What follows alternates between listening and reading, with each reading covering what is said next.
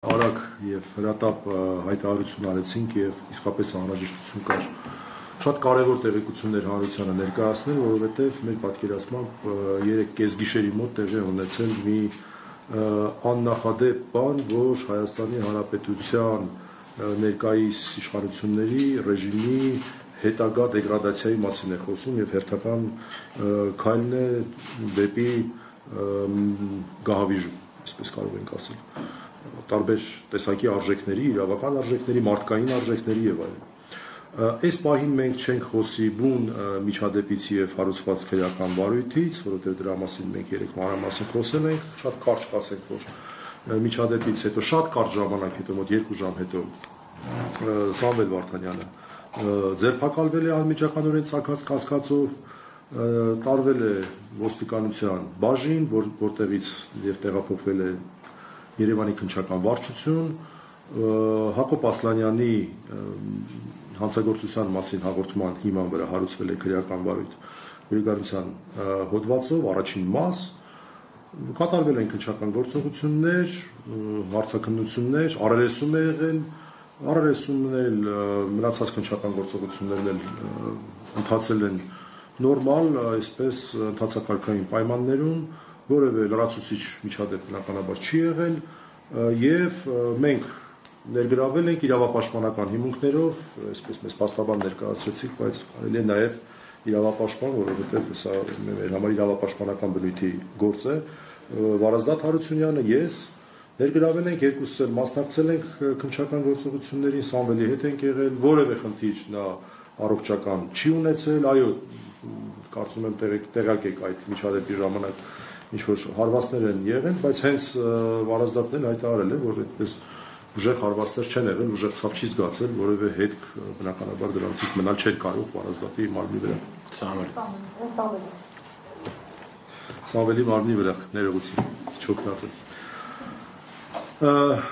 Ժամը 23:45 րոպե մոտավորապես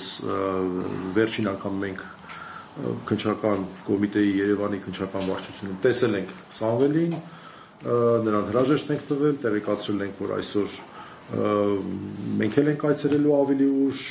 նաև ազգային ժողովի падգամավորներ են այցելելու եւ գնացել ենք տուն, ողջվում է,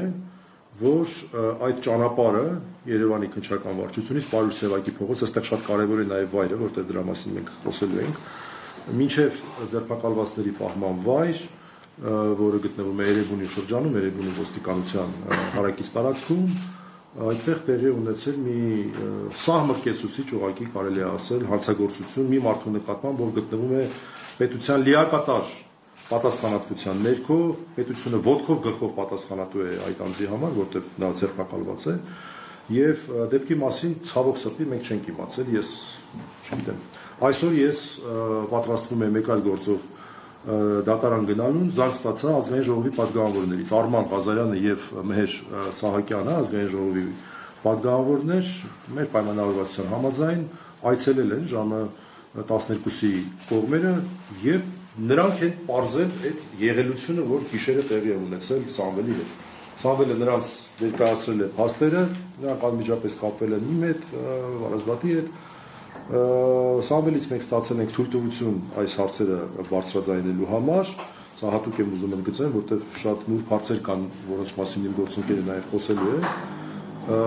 Ստացել ենք թույլտվություն եւ Սամվելը շատ լավ գիտակցում է, որ այս դեպքի մասին պետք է ամենայն մանրամասնությամբ, իսկ մենք խոսելու ենք ամենայն մանրամասնությամբ խոսել, որը նաև լինելու է կանխարգելիչ նշանակության հանգամանք, որpիսի այս նոր ձեռագիրը չդառնա գործելավոճ եւ ես միանգամից հիմա ուշադրություն եմ ուզում հրավիրել բոլոր այն մարդկանց, ովքեր որ շահագրգռված են Հայաստանում որոշակի ստանդարտների ապահովման գործում, որովհետև դա մեզնից յուրաքանչյուրին է վերաբերում։ Այսօր Սամվելն է, վաղը կարող է ձեզնից յուրաքանչյուրը լինել։ Ընդ որում պարտադիր չէ թե ինչ հիմքերով դուք ինչ հայացքներ ունեք, դուք եթե այս ճակերտավոր արյան համը ընկնում է քաղաքական իշխանության քիթը, իմացեք արյան հոտը նրանց քիթն է ընկնում, իմացեք, որ դա նշանակում է, որ այլևս որևէ բանի արժեվ չի կանգնելու։ Դրա համար մեր այսօրվա խնդիրն է կանխարգելել սա եւ ես կոչ եմ անում թե քաղաքական ուժերին բոլոր ընդդիմադիր քաղաքական ուժերին, որոնք կարող են միմյանց նկատմամբ նաև դրա ոչ դրական վերաբերմունք ունեն միմյանց հետ։ Սա ձեզ ձեզնից յուրաքանչյուրի խնդիրն է եւ ես խնդրում եմ որ դրա մասին խոսեք։ Այո, այսօր ազգային ժողովում էլ է սրա մասին խոսվել, շատ ողջունելի է ընդդիմադիր խմբակցությունների կողմից եւ ես կոչ եմ անում որ դրա մասին խոսեն նաեւ արտախորհրդարանական իրենց ընդդիմադիր համարող բոլոր ուժերը իրավապաշտպանները բնականաբար մենք այս այս ամենը ներկայացնել ենք նաեւ միջազգային գործընկերներին որևէ դուր չենք թողնելու որ չծեցենք դռնից հանեն պատուանից ենք մտնելու այս հարցը ամենասկզբունքային հարցն է այսօր որ մեր իրավապաշտպանական որևէ այսպես մի փոքր նշույլ ունեցող մարդու արժեք կարող եք անել որովհետեւ բացահայտ հիմա տեսնեք թե ինչ է տեղի ունեցել տեղեկանալով դրա մասին ես եւ Վարազդատը անմիջապես որոշեցինք որ այս միջոցին պետք է դիմենք, առաջինը հրաապարակայնացման պետք է դիմենք, որից հետո Վարազդատը նաև այցելեց դատաբժշկական փորձակնությունների կենտրոն, ինչու սա ուզում եմ հատուկ բարձաբանել։ Սա կապ չուներ